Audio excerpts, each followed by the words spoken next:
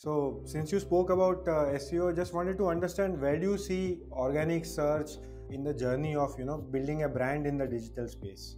Every step, right? Like I, I can think of. Uh, see, for me, organic search is basically content being discoverable. Today, there is smartness to understand what's a paid piece of content and uh, you know what has got organic credibility uh, the consumer or you know people are smart enough to understand it.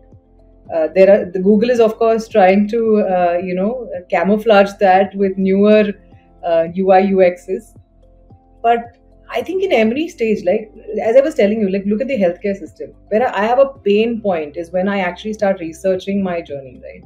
Or when a person decides to buy a car is when they actually start researching their journey is SEO only appearing on Google search? No. And for me, basically, SEO would be like so fragmented today, right? Like whether it is a product being um, discovered at the right keyword. Uh, let's say I want to search for a, a pain balm, right? So wh- whether I start writing by uh, you know mentioning pain balm or should I write leg pain, right? And uh, then the the product should be discovered uh, is absolutely the role of an SEO, uh, you know, uh, uh, uh, as you know, task force as such.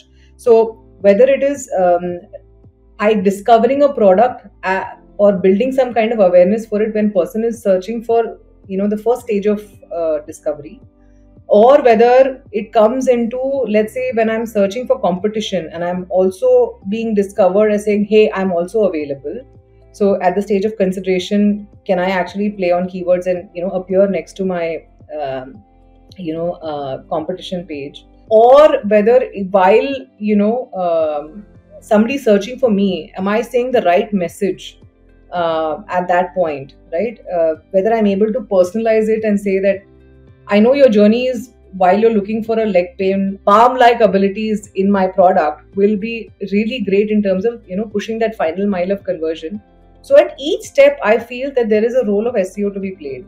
And look, I mean, trust today when I, uh, you know, play the uh, wear the hat of e-commerce, I understand the role of SEO even more.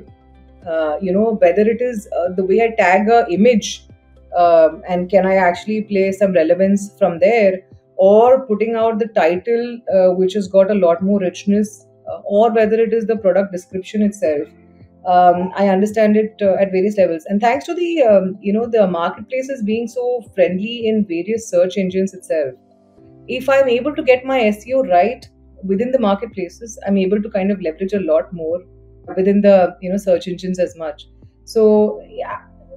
So today, for a lot of companies, I don't even think brand websites are important and necessary um, because the content that the brand needs to say could very well be uh, said on an e-com platform especially when you know uh, when a lot of this is transactional conversations. Like as i said pain balm. Do you really need a website for a pain balm page? Or do you really need a very rich content page on e-commerce? That's something i think which uh, the journey is uh, changing thanks to the seo environment on search engines changing